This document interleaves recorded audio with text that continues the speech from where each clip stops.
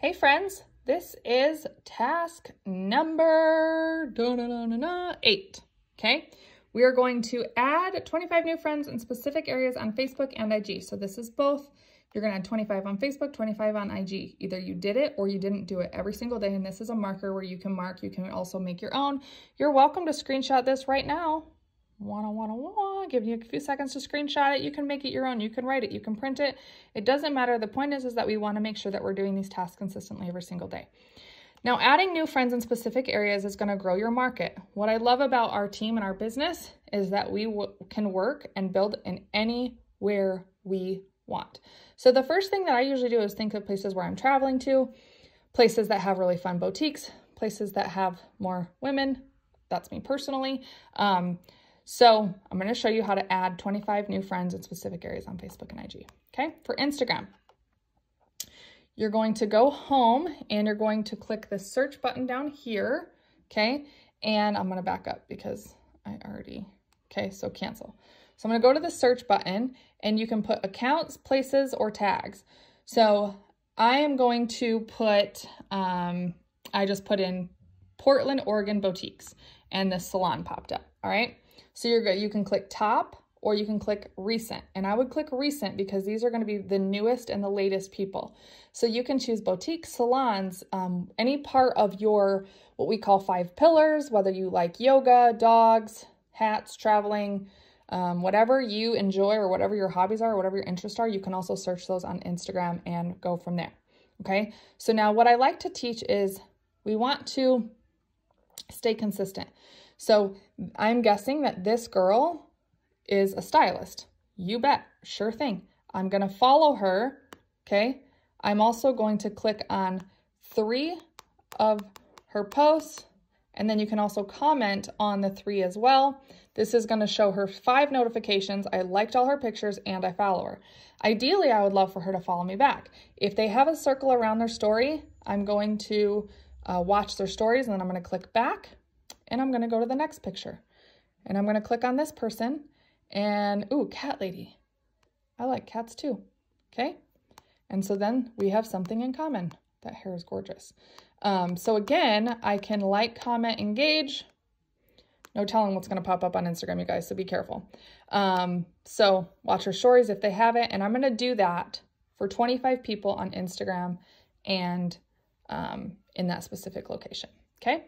Next is Facebook. This is how you do it on Facebook. You can search Facebook and I can search friends in specific areas. Okay, so friends in Las Vegas, okay, Nevada. It'll pull up some of my friends. It'll also have people. Um, okay, so let's say this girl.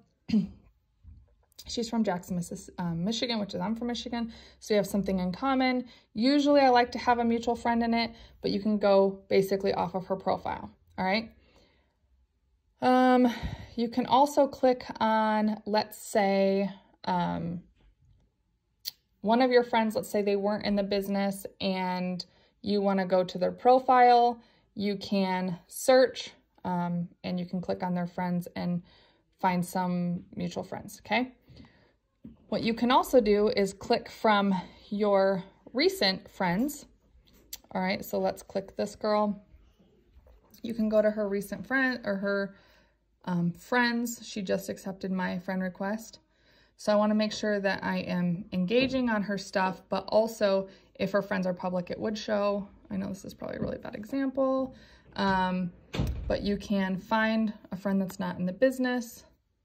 I have eight mutual friends. So let's say maybe I go to someone else's and you can find a friend and then go off of their friends. So if they say, if they have their friends showing, you can click on mutual, you can click on suggestions and you can add these people. These are gonna be your suggested friends. And I always think, do I trust Rose? Yes. Who here would accept my friend request? So I can usually I click on the profile. I see if they're somebody that I want to engage with, somebody that is positive. Are they a mom? Who are they? And then I add their friend. And then I go back and I click on their profile and I do this for about 25 people. Um, again, you wanna make sure that you have some mutual friends, you're gonna get blocked, but that is how you find a friend and add and market on Instagram. You can also use group, or I'm sorry, on Facebook. You can also use groups if you're a part of groups, hairstyling groups, things like that. That'll help you and you can click on groups right here and go on. The only thing we don't want to do is we don't want to find distributors who are in the business. So you wouldn't come to my profile or your upline's profile and go to our friends. Okay. Um, that's called like cross recruiting or cross marketing. And you don't want to do that. It's just very tacky and unethical. You can also go to friends and click on suggestions. This is going to have suggestions. Now be careful because sometimes it will have other It Works distributors. And the basic, you're going to run into some mistakes, but the basic thing that you can do is scroll, see if their profile is public, if they have anything on their profile about the business, don't add them, or if they're in other business, I usually don't add them as well.